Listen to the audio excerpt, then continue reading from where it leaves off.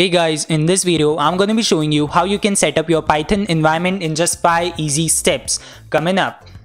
Hey guys, I'm Abhinn Vyas and this is the starting of my ultimate Python crash course here on YouTube for free where I teach you Python assuming that you have zero knowledge about programming itself. And also this channel is intended for pro programming beginners especially python beginners who are just starting out on their programming journey. So if you are one of those persons then subscribe now and turn on the post notifications so that you do not miss any of my future uploads. So without wasting any time let's get into the video. Now the first step is to open up uh, your chrome or whatever browser you are using and search for a program named Anaconda Navigator download. You can say like that it will search up for you. So now the first step was to go to the Chrome and search for a program named Anaconda Navigator. Now after you did that, just click on this installing on Windows. Now all these things will be down in the description. Link, sorry. I accidentally just said things. So now you see here, uh, we have a link as download the Anaconda installer just click up here since i'm on windows i'm installing the windows version if you are on linux or something mac you can download it for the operating system as usual since this link is taking too much time to load up and my internet connection is really crappy nowadays, I want you to give the knowledge of what are IDEs. IDEs, the full form are Integrated Development Environment. Now what are these? These are the softwares in which you program. These are the softwares in which you program. Just that this is the basic definition. Anything that can run any programming language, it is called IDE. You get that? Now let's move back to the video. So the site is loaded up. You just need to scroll down and down and down and uh, just a little bit of up okay we have an option here as install anaconda so just click on that it will take you to okay so we have a ton of options here.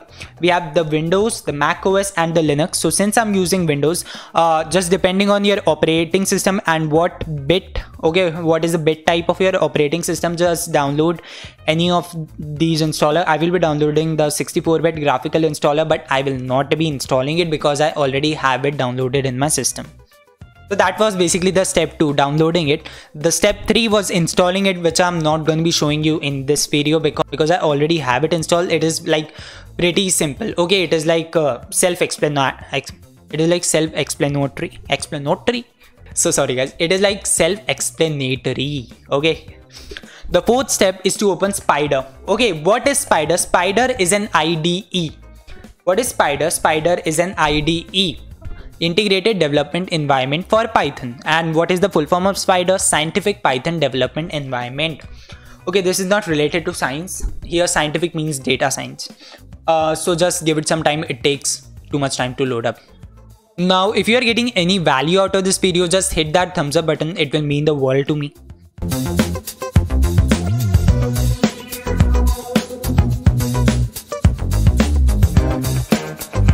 Okay, so finally after literally one or two minutes it loaded up like it took a really long time. Now it might take a little bit long if you uh, if you have just downloaded it and running it for the first time.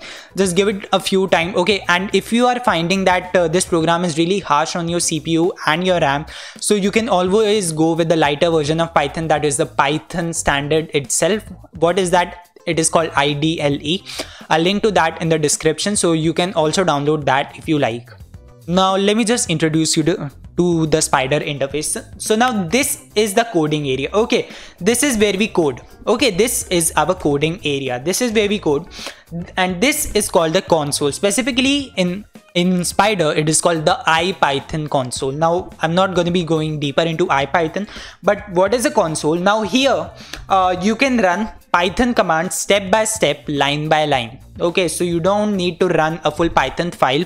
If you just want to run a line of code, you can always do it on the console. You will eventually learn that in this course because this course is for absolutely absolute beginners. I am again and again saying that subscribe now and turn on the post notifications. Okay, if you haven't done till now. So now that was kind of like a brief introduction. Now remember that was the step 4. Now what is the step 5? Now step 5 is to start coding. So let's just declare some variables and of string data type. Wait, wait, wait, wait, wait. Just wait. What are variables? What are data types? I guess you don't know that. In my next video, I'm going to be teaching you what are variables, what are data types and all of those stuff. So make sure you subscribe and turn on the post notifications so that you do not miss out any of my future uploads and this crash course. I'll see you in the next video. Adios amigos.